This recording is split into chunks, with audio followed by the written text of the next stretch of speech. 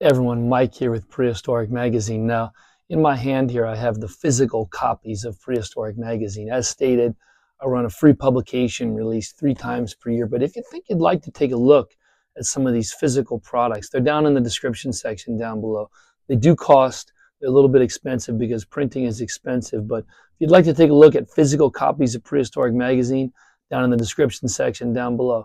Now, if you'd like to subscribe for free, the link in the description section is also down there, completely free.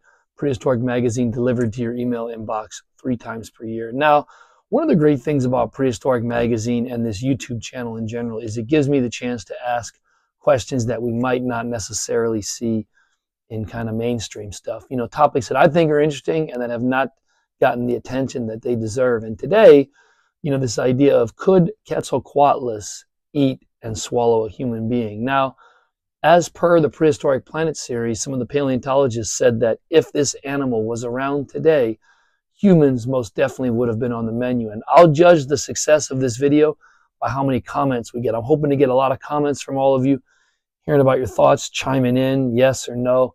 Love to hear from you at the end of this video. But could Quetzalcoatlus swallow and kill a human? Now, obviously, we've heard that the answer is yes. I believe that too just based on size alone. I mean, Quetzalcoatlus was a massive animal, um, 10 foot long head. Um, the jaws were possibly six feet long, just massive. Um, staggering to think of something that big.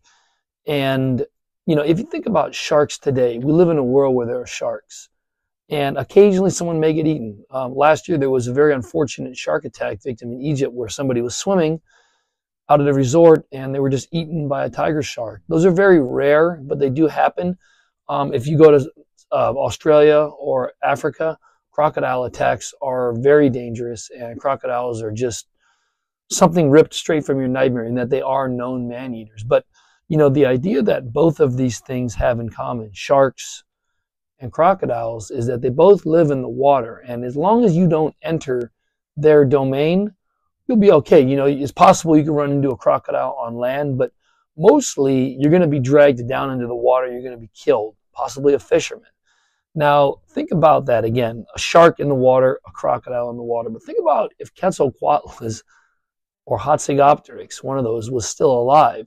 Think about the danger that we humans would be in. I don't necessarily know if we'd be able to coexist with them because everywhere you are, as long as they were, if we think about them populating the whole world, you would be fair game. If you were playing golf, it's possible you could be picked off. If you were out at a picnic with your family, it's possible at, at any given second, it could have been like that island scene that we see in Prehistoric Planet 2, where the small miniature dinosaurs are feeding.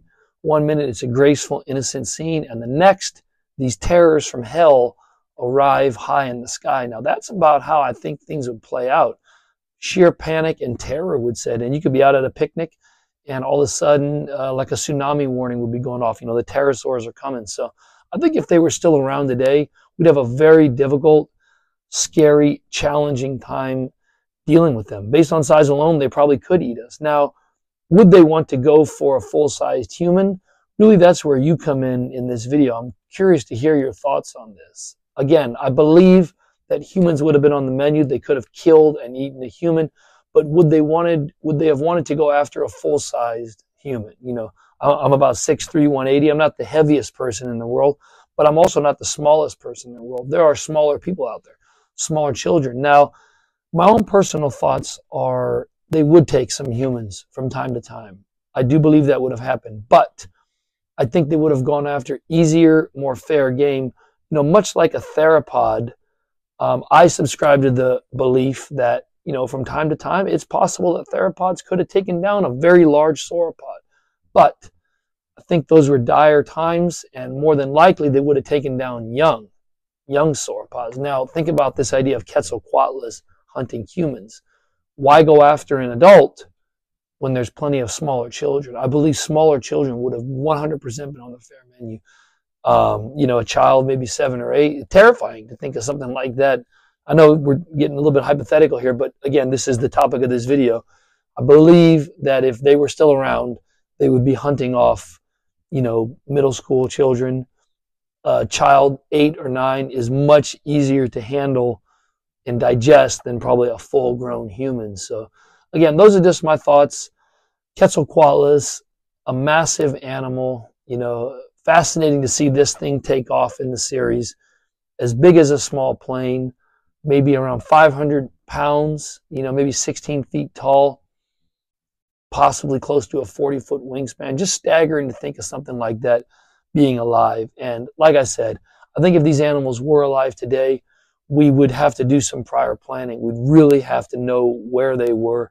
It'd be extremely dangerous because you'd never know when the attack could come from. It would come from the sky, and that would just be downright terrifying. You don't have to enter the ocean. You don't have to enter crocodile infested waters. Anywhere could be fair game. It'd be completely terrifying. Brings me to the most important part of the video. Your thoughts, love to hear them in the comment section down below. And if you enjoyed this video, really would appreciate you subscribing to Prehistoric Magazine down in the comment section. Thanks for all the support. See you in the next video. Take care.